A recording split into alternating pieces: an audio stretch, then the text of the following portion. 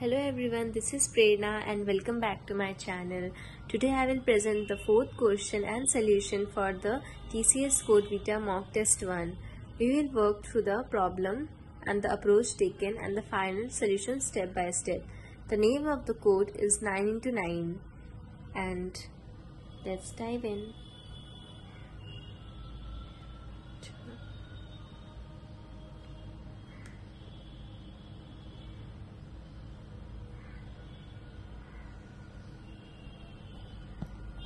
This is our code this includes libraries for input output vectors sets and algorithms like find.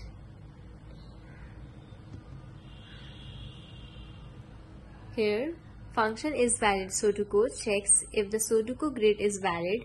Sets are used to track unit numbers of rows, columns and boxes, modifications counts how many corrections are needed.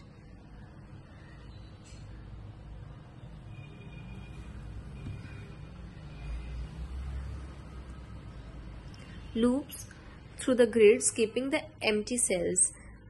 If checks if a cell is hinted value ends with 0 and adjusts if it's so.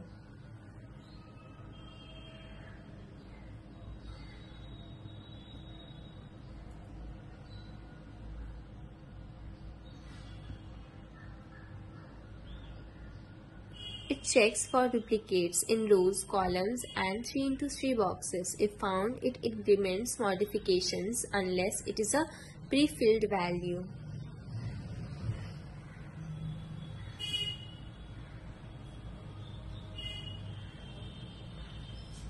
Validates hint cells to ensure they contain allowed numbers. If not, adds the cell to wrong cells.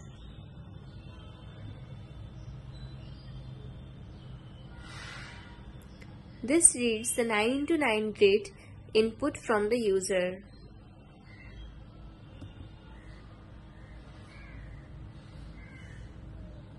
Reads the allowed numbers and the maximum numbers of modification k.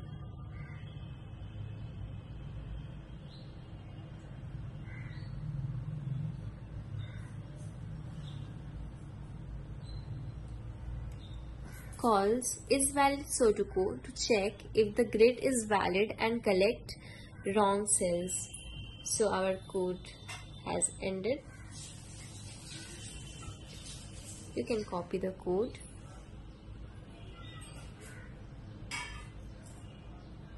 Please don't forget to like, share and subscribe.